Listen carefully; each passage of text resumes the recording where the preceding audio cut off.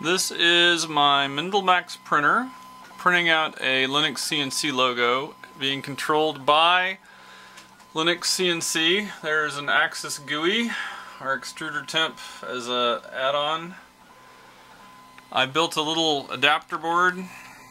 Can't see it here, I'll take it apart here a little bit. Uh, driving ramps, bang bang thermal control. Hopefully that'll work well enough for a first print.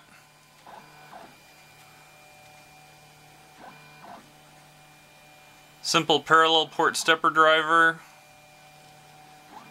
To get the analog input for the temperature control, I used an I squared C A to D converter and took three pins on the parallel port to make an I squared C.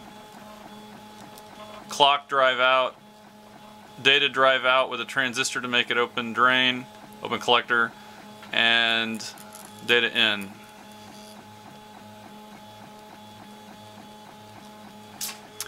And you can see the GUI following along an axis.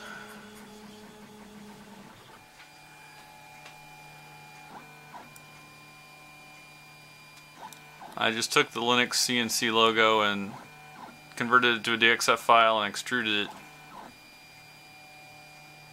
in OpenSCAD to make a very basic shape to try to print looks like it's going pretty well so far. I was able to import my settings from Marlin on the Arduino based controller with ramps and use that to configure Linux CNC. I have a combination of stepconf,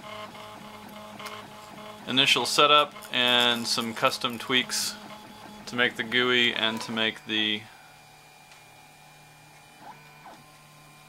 extrude to control the uh, extruder temperature.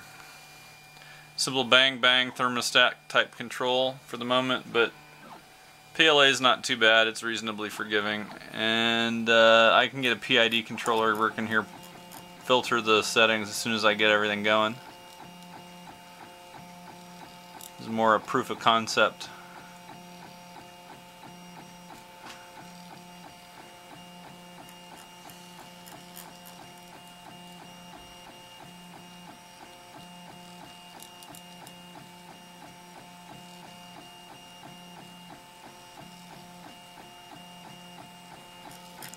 Uh, looks like I'm getting a little bit too much filament out there.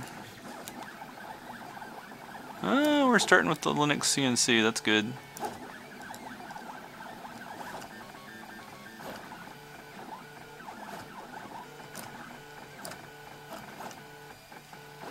Oh no! And it came unstuck because I don't have the heated bed on.